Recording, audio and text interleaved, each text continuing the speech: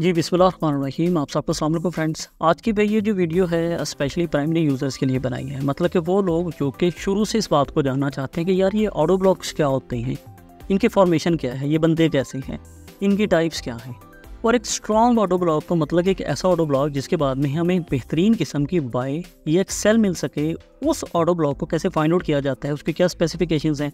उसे कैसे निशानदेही मतलब उस ऑडो ब्लॉक की कैसे निशानदेही की जाती है? मगर इन तमाम चीज़ों को समझने से पहले हमें थोड़ा सा ये समझना होगा कि स्मार्ट मनी कॉन्सेप्ट क्या है। क्योंकि जब तक हम स्मार्ट मनी कॉन्सेप्ट को नहीं समझेंगे, हमें ऑडो ब्लॉक की समझ नहीं आएगी, क्योंकि ऑडो ब्लॉक जो है बेसिकली स्मार्ट मनी कॉन्सेप्ट का एक हिस्सा है। अब स्मार्ट मनी कॉन्सेप्ट से मुराद वो पैसा है जो कि कुछ बड़े इन्वेस्टर्स फाइनेंशियल इंस्टीट्यूशंस या फिर बैंक्स की तरफ़ से इन्वेस्ट किया जाता है। सिंपल इसे बोलते हैं एसएमसी मतलब के स्मार्ट मनी कॉन्सेप्ट और जिस प्राइस लेवल पे वो पैसा इन्वेस्ट किया जाता है, उस जगह पे हमें एक शार्प अपवर्ड या डाउनवर्ड मूव देखने को मिलती है। और उस मूव से पहले कैंडल्स की जो फॉर्मेशन होती है, उसमें से खास स्पेसिफिक कैंडल को हम ऑटो ब्लॉक बोलते हैं, जो कि अमूमन बाय या फिर सेल मूव के स्टार्ट में ऑपोजिट कलर की कैंडल होती है। जैसे कि यहाँ पे आप लोग देख सकते हैं बाय मूव के स्टार्ट में रेड कैंडल और सेल मूव के स्टार्ट में ये एक ग्रीन कैंडल और ऑटो ब्लॉक की खसूसियत ये भी होती है कि उसके बाद हमें स्ट्रॉन्ग बाइंग या सेलिंग प्रेशर मिलता है। अब यहाँ पे देखें, इस ऑटो ब्लॉक के बाद में हमें बाय मूव मिली तो ये हुआ हमारा बुलिश ऑटो ब्लॉक और इस ऑटो ब्लॉक के बाद में हमें यहाँ पे एक सेल मूव मिली तो ये हुआ हमारे बियरिश ऑटो ब्लॉक इससे पहले कि हम ये बात करें कि फॉर्मेशन क्या है, ये बनते कैसे हैं, आपको मैं एक सिंपल सी चीज़ बता दूँ सो दैट आपको बात समझना थोड़ा सा आसान हो जाए बाय मूव के स्टार्ट वाली ये जो कैंडल है, ये ऑटो ब्लॉक है, और सेल मूव के स्टार्ट वाली ये जो कैंडल है, ये ऑटो ब्लॉक है। ये बात जितना सुनना आसान है उतना भी आसान नहीं है, क्योंकि इस तरीके कार से तो आपको एक मूव में दस ही ऑटो ब्लॉक्स मिल जाएँगे। हमें स्ट्रॉन्ग ऑटो ब्लॉक को कैसे फाइंड आउट करना है, हमारी मेन डिस्कशन इस चीज़ पे होने वाली है। मगर उससे पहले हम इसकी फॉर्मेशन पे बात करते हैं। फ़र्स्ट कर लीजिए, किसी भी एक स्पेसिफिक पेयर में कुछ इन्वेस्टर जो हैं, आकर थाउज़ेंड करोड़ की जो बाइंग है, वो करना चाहती हैं। अब आप खुद बताएँ, क्या इतनी बड़ी बाइंग के जो ऑर्डर्स हैं एक बार में पिक हो जाएँगे। कभी भी नहीं होंगे तो क्या होगा? कि उसमें से कुछ अमाउंट 600 करोड़ 700 करोड़ 800 करोड़ के जो ऑर्डर्स हैं पिक हो जाएँगे, जिसके बाद आप लोगों को यहाँ पे एक अपवर्ड मूव देखने को मिलेगी। अब बाकी का जो 300 करोड़ है, उसका क्या होगा? वो भी तो बाय करना था। तो जब मूव घूम फिर कर वापस उसी एरिया में आती है तो ये लोग क्या करते हैं? पहले से उसी एरिया में 300 करोड़ मतलब कि जो बाकी की अमाउंट होती है, उसका जो ऑर्डर होता है, वो सेट करके छोड़ देती।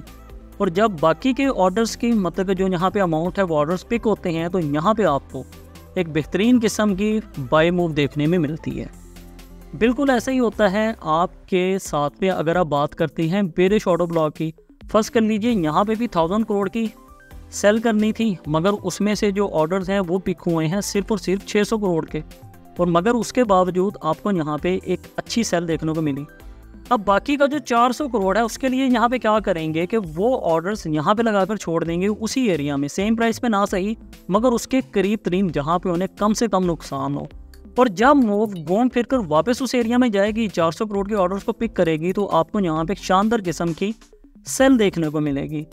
अब बात यह है कि अगर आप लोगों को ये पहले से पता होता कि ये ऑटो ब्लॉक है तो आपने क्या करना था कि इस एरिया में आकर अपनी एक बाई लगानी थी।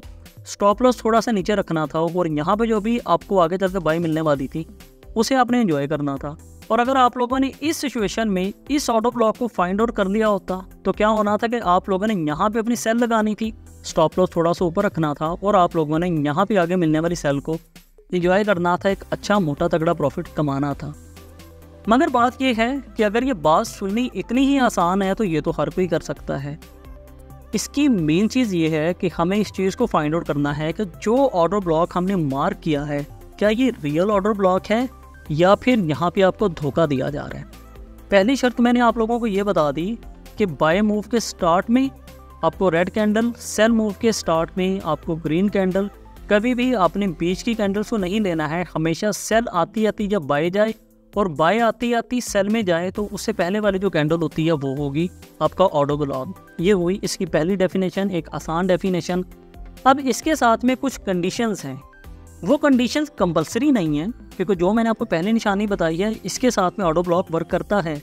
मगर बाजू बात नहीं करता है तो आप अपने ऑटो ब्लॉक एक स्ट्रॉन्ग ऑटो ब्लॉक कैसे मार कर सकते हो, उसकी कुछ शराय ना समझें ऑप्शन समझ लें, वो क्या है? देखें।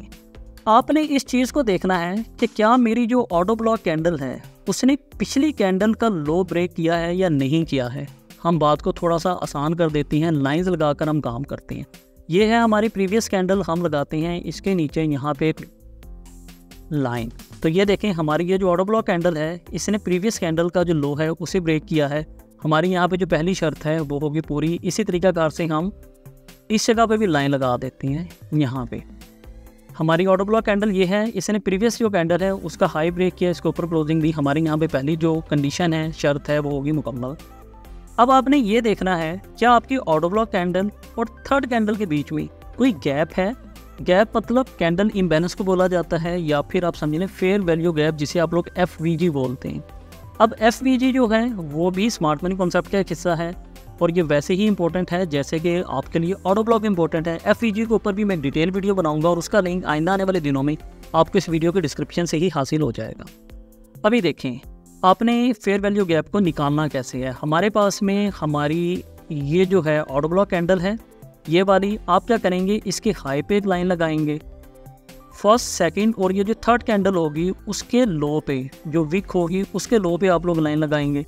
अब ये देखें, यहाँ पे आपको गैप नज़र आ रहा है। अगर ये गैप यहाँ पे आपको मिल रहा है तो इसका मतलब ये है कि आपने जो ऑटो ब्लॉक फाइंड आउट किया है, ये एक स्ट्रॉन्ग ऑटो ब्लॉक है और इसके बहुत ज़्यादा चांसेस हैं कि थोड़ा सा आपको बुलिश मूव दिखाएगा। उसके बाद में ये वापस अपने ऑर्डर्स को पिक करने के लिए सेम इस एरिया में ये जो 300 करोड़ का बाकी लगा हुआ है, इसे यहाँ पे पिक करने के लिए आएगा। तो आप लोग यहाँ पे अपनी बाई लगाकर छोड़ देंगे और फिर एक अच्छा खासा प्रॉफिट कमा सकेंगे। एक और चीज़ बताता चलूँ कि ऑटो ब्लॉक्स पर ट्रेड कैसे करते हैं, उसके लिए भी मैं डिटेल वीडियो बनाऊँगा। आज की इस वीडियो में तमाम चीज़ें नहीं बता सकूँगा। उसका लिंक भी आपको आइंदा आने वाले दिनों में इसी वीडियो के डिस्क्रिप्शन से जो है हासिल हो जाएगा।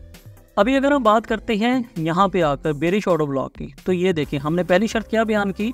कि आपकी जो ऑटो ब्लॉक कैंडल है, क्या उसने प्रीवियस कैंडल का हाई ब्रेक किया या नहीं किया है, ये कंप्लीट हो गया। अब हमने यहाँ पे फेयर वैल्यू गैप निकालना है तो आप क्या करेंगे, अपनी ऑटो ब्लॉक जो कैंडल है, उसका लो और आपकी जो थर्ड कैंडल है, उसका आप लोगों ने जो हाई है, उसे मार कर लेना है, उसके ऊपर लाइन लगा देनी है ऐसे। तो यहाँ पे आप लोग देख सकते हैं, इन दोनों कैंडल्स के बीच में एक अच्छा खासा गैप है। मतलब ये कि हमारे पास में ये जो कैंडल है, एक स्ट्रॉन्ग ऑटो ब्लॉक है और आप लोग देख सकते हैं कि इस कैंडल के बाद में आपको यहाँ पे सेल मूव मिली। उसके बाद में ही इसने वापस आकर इस एरिया में उन ऑर्डर को पिक किया और फिर आप लोगों को यहाँ पे एक सेल मूव मिलेगी। तो अब इससे पहले कि हम इन तमाम चीज़ों को लाइव चार्ट पे भी आकर देखें, एक चीज़ मैं आप लोगों को पहले से क्लियर कर देना चाहूँगा। ये जो मैंने आप लोगों को फेयर वैल्यू गैप का और लास्ट कैंडल के नीचे ऑटो ब्लॉक कैंडल का क्लोज होना बताया है, ये लाइव चार्ट पे कंपलसरी नहीं होता है। कभी कभी इन दोनों कंडीशन के बगैर ही आपका ऑटो ब्लॉक जो है बहुत अच्छे से वर्क करता है। मगर कभी कभी जब ये दो कंडीशन साथ में मिल जाती हैं तो यहाँ पे आपके पास में ज़्यादा पॉसिबिलिटी आ जाती है कि अब मुझे यहाँ से अच्छी ट्रेड मिल सकती है। मगर मार्केट आप लोगों को हमेशा मैनिपुलेट करती है। तो जो मैंने आपको दो तीन चीज़ें बताई हैं, इन्हें माइंड में रखें। आइए अभी हम लाइव चार्ट पे जाकर चेक कर लेते हैं। सो so फ्रेंड इस वक्त हूँ मैं गोल्ड के चार्ट पे और हम यहाँ पे अभी ऑटो ब्लॉक को फाइंड आउट करेंगे। मैं एरिया वो सोचूँगा कि जहाँ पे सबसे ज़्यादा थोड़ा सा रश हो, जहाँ पे हमें चीज़ का पता ना लगे। अब अगर आप लोग यहाँ पे देखो तो ना तो ये एक बाय मूव है, ना ही एक सेल मूव है। ये एरिया बेसिकली एक साइडवेज एरिया है, जिसमें ऑटो ब्लॉक को फाइंड आउट करना बहुत मुश्किल होता है। मगर इसका एक तरीका हमने रखा हुआ है, वो ये है कि जिस कैंडल के बाद में आपको एक कंटिन्यूशन मिले एक जैसी कैंडल्स की, आप उस कैंडल को मार करके ट्राई कर सकते हैं। हम आकर इस कैंडल को यहाँ से मार करते हैं। ये छोटी सी कैंडल है, इसे हमने मार किया। आप सोचो कि इससे पहले जो और भी तो कैंडल्स हैं, आपने इसे क्यों नहीं किया? क्योंकि इस ग्रीन कैंडल के बाद में रेड है, फिर से ग्रीन है, फिर से रेड है, हमें कंटिन्यूशन नहीं मिलती। मगर इस जगह पे हमें कंटिन्यूशन मिली है। इसका मतलब है कि ये वाली जो कैंडल है ऑटो ब्लॉक हो सकती है। अभी हम इसे आगे चलकर देखते हैं क्या इस एरिया को रिस्पेक्ट किया गया है कि नहीं किया गया सो so, आप लोग यहाँ पे देख सकते हैं हमने छोटी सी कैंडल को जो है मार किया था और इस एरिया में आकर बाकी के ऑर्डर ब्लॉक्स को मतलब कि बाकी के जो ऑर्डर्स थे उसे पिक किया गया और फिर आप लोगों को एक बेहतरीन किस्म की शानदार बाई मिली है इस जगह पे। अभी हम एक और एग्जांपल देखते हैं। एक एग्जांपल जो है भाई, वो हम हम लेते हैं बिटकॉइन से। मैंने यहाँ पे फोर आवर्स का टाइम फ्रेम सेट किया हुआ है। अगर आप लोग इस एरिया में देखो तो साइडवेज एरिया है, ये भी साइडवेज एरिया है और यहाँ पे हमें एक कंटिन्यूशन नज़र आ रही है कुछ इस एरिया में। अब ये कैंडल है, जिसके बाद में हमें एक इम्पल्सिव मूव नज़र आ रही है। इस कैंडल को अगर हम देखें तो इसने पिछली कैंडल का जो हाई है, उसे भी ब्रेक किया है। यहाँ पे आप लोग देख सकते हैं। दूसरी, हमारी इसके साथ में शर्त क्या थी कि हमें यहाँ पे एक फेयर वैल्यू जो गैप है, वो मिलना चाहिए। हम उसे भी चेक कर लेते हैं। इस कैंडल के हम नीचे एक लाइन लगाते हैं और इसके बाद में जो ये थर्ड कैंडल है, हम उसके हाई पे एक लाइन लगा देते हैं। तो आप लोग क्या देखते हैं, इन दोनों लाइंस के बीच में हमारे पास में गैप भी है। मतलब ये कि इस कैंडल को हम ऑटो ब्लॉक जो है, मार कर सकते हैं। तो अभी इसे हम एक बॉक्स लगा लेते हैं और देखते हैं कि इसने इसे रिस्पेक्ट किया है या नहीं किया है। तो आप लोग यहाँ पे देख सकते हैं, इस एरिया में आकर वापस कुछ ऑर्डर्स को पिक किया गया। फ़र्स्ट कर दीजिएगा, यहाँ पे थाउज़ेंड करोड़ की जो सेल है, वो लगाई गई थी। सिक्स हंड्रेड करोड़ की सेल यहाँ से बुक हुई। बाकी के जो फोर हंड्रेड करोड़ के ऑर्डर थे यहाँ पे लगाए गए। और इसके बाद में आप लोगों को यहाँ पे शानदार किस्म की सेल देखने को मिली। और ये जो सेल है forty two thousand eight hundred से लेकर अभी तक मेरे सामने thirty seven thousand nine hundred तक, बल्कि thirty seven thousand five hundred तक गई है। तो इस तरीक़ाकार से आप लोग ऑटो ब्लॉक्स को मार कर सकते हैं। कुछ ऑटो ब्लॉक्स ऐसे होंगे कि जो आप लोगों को फेयर वैल्यू गैप के बगैर मिलेंगे, मगर कुछ ऑटो ब्लॉक्स ऐसे होंगे जो आपको एफपीजी मतलब कि फेयर वैल्यू गैप के साथ में मिलेंगे। इन दोनों तीनों चीज़ों को जहन में रखते हुए आप लोगों ने ऑटो ब्लॉक को फाइंड आउट करना है। और नेक्स्ट जो वीडियो है, मैं बनाने वाला हूँ कि आप लोग ऑटो ब्लॉक स्ट्रेटजी को यूज़ करते हुए अपनी ट्रेड कैसे ले सकते हो। उसके बाद में हम बात करने वाले हैं कि फेयर वैल्यू गैप क्या होते हैं। उनके साथ में ट्रेड कैसे की जा सकती है, उन तमाम वीडियोज़ के जो लिंक्स हैं, आपको इस वीडियो के डिस्क्रिप्शन से हासिल हो जाएँगे। अगर आपको आज की हमारी वीडियो पसंद आई है, हमें कमेंट करके लाजमी बताएँ सो दैट हम ऐसे ही कंटेंट आप लोगों के लिए लाते रहें। कोई भी कन्फ्यूज़न है, किसी चीज़ की समझ नहीं आई है, हमारे टेलीग्राम चैनल को ज्वाइन कर लीजिए, वहाँ पे हम तमाम चीज़ें आप लोगों के साथ में क्लियर करते रहते हैं। मिलते हैं नेक्स्ट वीडियो में, इजाज़त दीजिए, ख्याल रखिए, बहुत शुक्रिया हाफिज़।